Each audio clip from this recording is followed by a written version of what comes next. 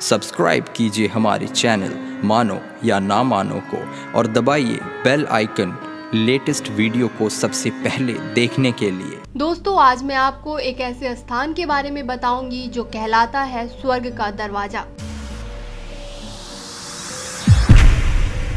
मानो या ना मानो दुनिया भर में कई ऐसी दुर्लभ जगह हैं जिनके बारे में जानकर काफ़ी हैरत होती है और ये जगह लोगों को काफ़ी लुभाती हैं। इनमें से कुछ को जहाँ इंसानों ने अपनी मेहनत से बनाया है, वहीं कुछ को इस प्रकृति ने खुद अपने हाथों से बनाया है ऐसा ही एक स्थान है भारत का सबसे आखिरी गाँव माणा गाँव इसके बारे में बहुत कम लोग जानते हैं। यह गाँव बद्रीनाथ से तीन किलोमीटर आगे समुद्र तल से अठारह हज़ार फुट की ऊंचाई पर बसा है। यह गाँव सरस्वती नदी के किनारे बसा एक बहुत ही खूबसूरत गाँव है। यह भारत, चीन और तिब्बत की सीमा पर बसा है। यह गाँव हिमालय की पहाड़ियों से घिरा हुआ है। माणा गाँव का पौराणिक नाम मणिभद्र है। यहाँ पर सरस्वती नदी और अलकनंदा नदियों का संगम भी होता है। यहाँ पर कई मंदिर और गुफाएँ बहुत फ़ेमस हैं। माना जाता है कि जब पांडव स्वर्ग जाने के लिए इस जगह से गुजरे थे तो उन्होंने सरस्वती नदी से रास्ता मांगा था। लेकिन सरस्वती नदी द्वारा रास्ता न दिए जाने के कारण उन्होंने नदी में दो बड़ी बड़ी शिलाएँ डालकर इस पर पुल बना दिया और पांडव इसी पुल से होकर स्वर्ग की ओर गए थे। माणा में महाभारत के रचनाकार वेद व्यास जी का मंदिर भी है। कहा जाता है कि उस काल में व्यास जी इसी गुफा में निवास करते थे। व्यास जी के इस मंदिर में उनके पुत्र शुक्रदेव व वल्लभ भाई की प्रतिमा भी विराजमान है। इसके अलावा यहाँ विष्णु जी की एक प्राचीन प्रतिमा भी है।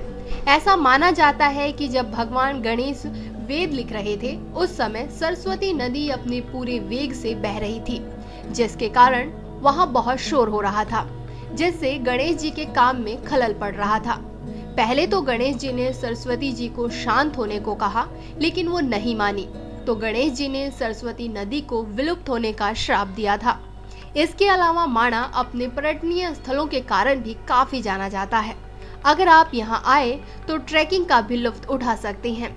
और अगर आप चाय के शौकीन हैं तो आप देश के सबसे आखिरी चाय की दुकान से चाय ज़रूर पिए। दोस्तों, आपको हमारी ये कहानी कैसी लगी, इसके बारे में अपने कमेंट हमें ज़रूर लिखें। आप हमारे इस वीडियो को लाइक कर सकते हैं, हमारे चैनल मानो या ना मानो को सब्सक्राइब कर सकते हैं, तथा इस वीडियो को अपने दोस्तों और अपने परिवारजनों के साथ शेयर करना ना भूलें। दोस्तों, इसी तरह की अद्भुत, अविश्वसनीय, अकल्पनीय मान्यताओं और घटनाओं के लिए देखते रहिए मानो या ना मानो।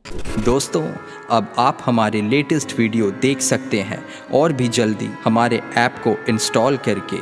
इसके लिए आपको गूगल प्ले स्टोर जाके बस मानो या न मानो हिंदी स्टोरी सर्च करें, जो है बिल्कुल फ्री और इसका लिंक आपको वीडियो के डिस्क्रिप्शन में भी मिल जाएगा।